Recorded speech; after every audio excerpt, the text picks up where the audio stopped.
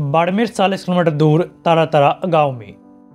धर्मपुरी महाराज के मंदिर की प्राण प्रतिष्ठा और भंडारे का आयोजन किया जा रहा है और इस पूरे आयोजन में देश भर से संत पहुँच रहे हैं। यह करीब दो किलोमीटर इलाके में श्रद्धालु और संतों और वाहनों की पार्किंग से लेकर कार्यक्रम के लिए पंडाल सजाएगी।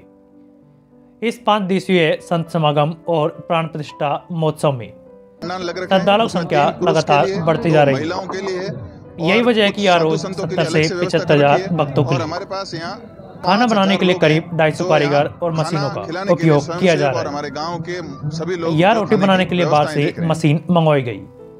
जो एक घंटे में दस हज़ार रोटियाँ बना सकती है। फ़िलहाल अभी रोज तीन लाख रोटियाँ बनाई जा रही है।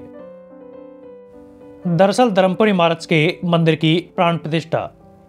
महंत जगरामपुरी महाराज के जीवित भंडारे व विराट संत सम्मेलन का आगाज़। सोमवार को हो गया।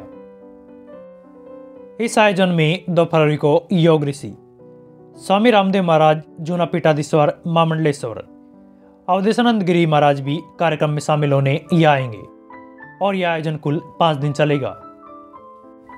पाँच दिवसीय मंदिर प्राण प्रतिष्ठा महोत्सव व भंडारे के लिए धर्मपुरी मंदिर पर 25 लोगों की अलग अलग टीमें सेवा में लगी हुई है। इस पूरे आयोजन में आने वाले भक्तों के लिए उनके भोजन के लिए सात पंडाल बनाए गए खास बात है कि इन सही पंडालों में एक साथ करीब दस हज़ार लोग भोजन कर सकते हैं। इस भंडारे में रोटियाँ बनाने के लिए बाहर से मशीन मंगवाई गई। इस मशीन से हर घंटे में दस हज़ार रोटियाँ तैयार हो रही है। सत्तर से पचहत्तर हज़ार लोगों के लिए रोज करीब तीन लाख रोटियाँ बनाई जा रही है। इस ऑटोमेटिक मशीन से आटा गूंथने से लेकर रोटी बनने और सेकने तक की प्रक्रिया होती है। और इसके लिए पाँच लोगों की ज़रूरत पड़ती है।